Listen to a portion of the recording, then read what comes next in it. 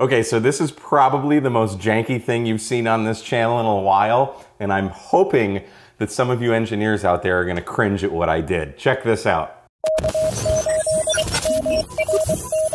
So this all started last night. I want to POTA today, but I want to spend a bit of time out there. I want to make some contacts. I'm not to film a video or nothing, but I want to bring my Yaesu FTX 1F.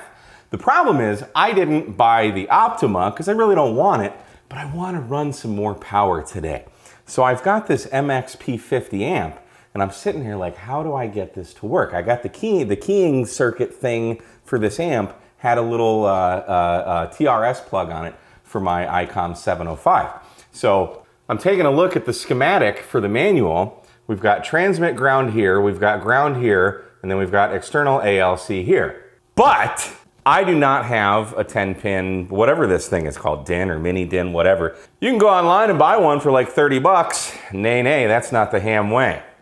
So this wire right here is like the keying wire, and then you've got your power wire on the uh, amplifier, okay?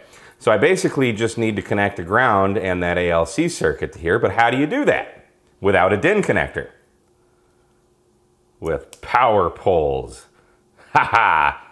And I color coded them so you guys in the comments wouldn't freak out that this was red. Only, only did it for you. So here's where it gets janky, okay?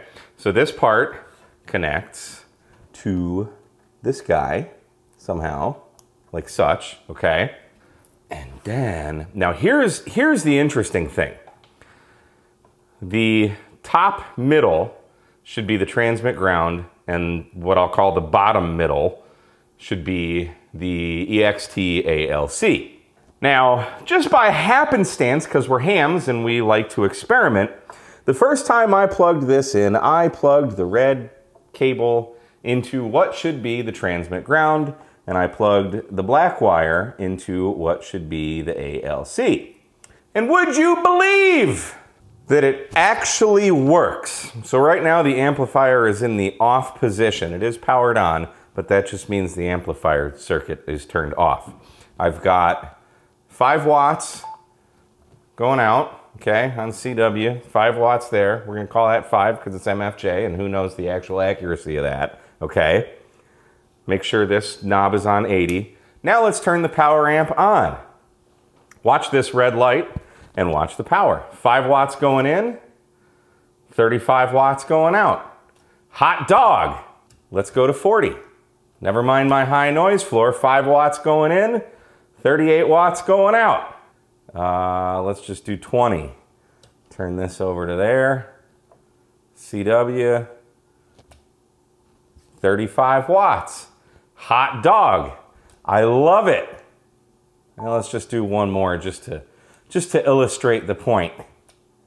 15 meters, 35 watts with 5 watts in. Now, it's still too early to tell, but recent studies and tests have shown that I might not be stupid after all. The interesting thing is why is the red connected to the transmit ground and the external ALC is connected to...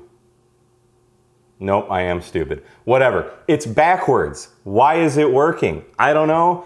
I'm gonna go out and do some POTA now and uh, we'll see if it works. But that's the, that's the story for today. We got a 50 watt amp, 50 watts, working with the FTX 1F uh, as janky as possible. My name is Mike K8MRD, Thanks for watching 73.